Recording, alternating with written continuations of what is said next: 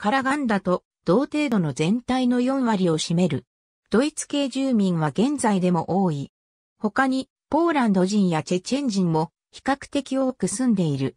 元日本人抑留者とその子孫も在住している。気候は大陸性で、欠片の気候区分では寒帯湿潤気候に属する。冬季は非常に寒冷でマイナス40度を下回る。夏季は暑く日中は30度を超える。ありがとうございます。